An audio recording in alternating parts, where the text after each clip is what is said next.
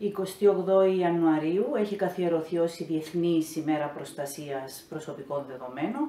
Η Ευρώπη έχει θεσπίσει ένα ενισχυμένο πλαίσιο προστασίας προσωπικών δεδομένων, του οποίου την παρακολούθηση για την εφαρμογή έχει το γραφείο μου στην Κύπρο.